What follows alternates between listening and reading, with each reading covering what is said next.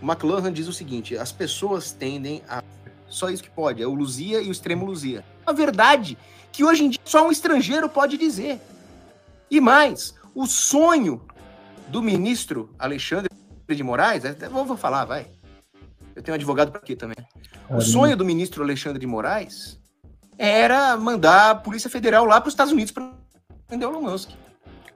Ele queria. É, que tá sendo útil pro Xandão também dar uma segurada, né? E não, não se achar que pode sair censurando todo mundo sem processo legal nenhum, né?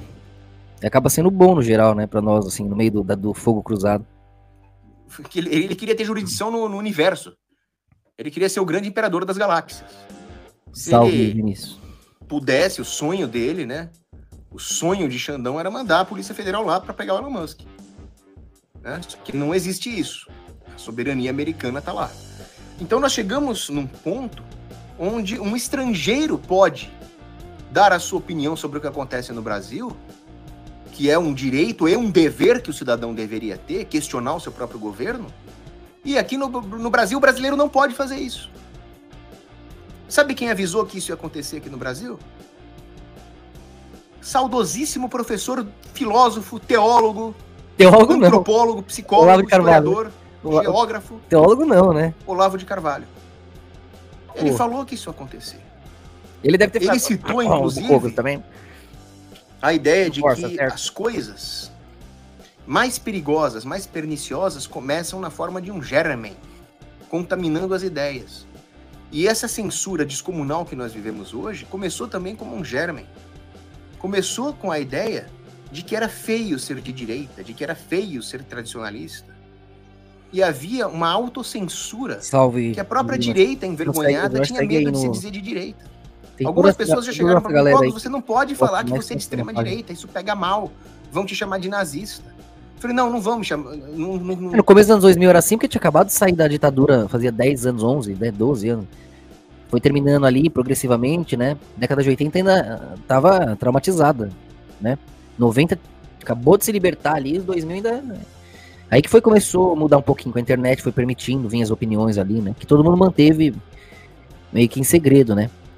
Mas o que deu força pra direita foi essa historinha aí, que nem é de esquerda, é da cultura woke da falsa Israel. É dos Soros, Rothschilds, de querer mudar, a, pôr as crianças, ver do que, que as crianças preferem, como que elas preferem copular, uma coisa oh, estranha, o que, que é isso? É, é, esses negócios, essa, essa cultura woke que, que, que, que, fer, que fez a direita bombar do outro lado, com razão. E não tem nada a ver com a esquerda, porque o Putin não pensa isso, cara. O Xi Jinping não pensa isso lá. Os caras têm postura, né? E até é exagerada pro outro lado, lá é proibido, de fato. Agora a gente dá liberdade, vai exagerando, vai atropelando tudo por maldade. É isso que é o triste.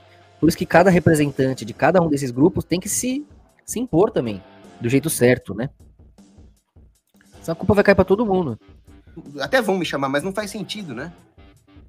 Porque o nazismo é uma ideologia de esquerda. O nazismo é contrário ao livre mercado, contrário às tradições. É. A favor de um Estado gigantesco, é descomunal e censurador. Então, o nazismo é de esquerda. Eu, por ser de extrema direita, sou antinazista. Né? Agora, eu não tenho vergonha, eu falo mesmo, eu sou de extrema direita. Eu sou um extremo defensor da propriedade privada e dos bons valores.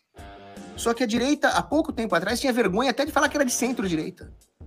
Se você... Essa extrema-direita dele quer privatizar tudo. Que extrema-direita é essa que quer vender para gringo nossas propriedades? O Enéas ia ficar assim, ó, se ouvisse uma coisa dessa. Bolsonaro, verdadeira de direita antigamente, querem trocar por dólar que gringo imprimiu. A verdadeira riqueza está na nossa terra. A riqueza mais. O verdadeiro. O, o país mais rico do mundo, de fato. A riqueza verdadeira. São recursos naturais que demoram milênios para se formar. Tá aqui, são nossos. O resto é uma forma de trocar esses recursos. E quem define é quem tem, quem dá as cartas, que no momento são eles. Porque a gente tá de cabeça baixa. Porque se eles nos deixam fora do mercado, a gente tem que dar graças a Deus. Se sancionassem a gente, igual fizeram com a Venezuela, Coreia do Norte, quem se ferra é o mundo. Porque se nossa riqueza ficasse pro brasileiro, vocês iam ver o que essa nação ia se tornar. O que nos falta é tecnologia, o desenvolvimento que a gente, que nossos melhores profissionais vão lá para fora. Levados, roubados, tomados, porque aqui é negligenciado diante desse sistema se fizessem com a gente o que fez com a Venezuela, que só tem petróleo, não vai viver de petróleo, né? Mas fizessem com a gente, a maior fauna do mundo, a maior flora do mundo, quem sustenta o mundo em proteína animal, proteína vegetal, em todas as formas de energia, se deixassem o Brasil com o que é dele, A gente ia rir e ia dar graças a Deus. Tem gente que tem medo disso. Ai, fica quietinho, baixa a cabeça pro dólar, vende, privatiza, joga o jogo do mercado, senão eles sancionam a gente. Ah, quem dera! Quem dera nos deixassem com o que é nosso. Quem dera.